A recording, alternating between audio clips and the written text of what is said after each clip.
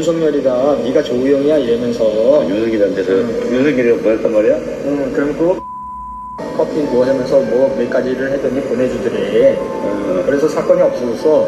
근데 그럼 아니 잠깐만. 조우영이 응 그러니까 박영수가 이거 기사 나가면 나는 안, 안 돼, 이게 아니라 응. 박영수가 그러면 윤석열하고 통했던 거야? 윤석열이를 데리고 있던 애지. 아니 데리고 있었기 때문에. 통했지. 그냥 봐줬지. 어, 그러고서 부산저축은행 회장만 꼬링 시키고 응. 부회장 김영 부회장도 꼬링 시키고 이랬지.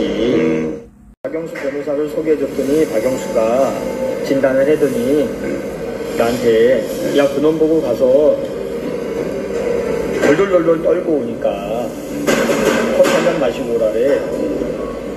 검찰 들어가서 대검에서 부르면 가서 커피 한 잔 마시고 오라래.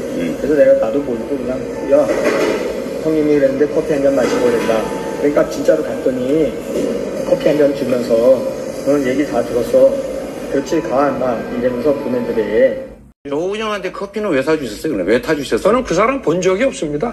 아니 아, 참. 희한하네 갖다 붙이려고 10년 전 것까지. 3분 너무 좋아하지 마시고 홍준표 의원의 말씀을 꼭 새겨 들으시기 바랍니다. 윤석열 후보는 절대로 대통령이 되면 안 될 사람입니다.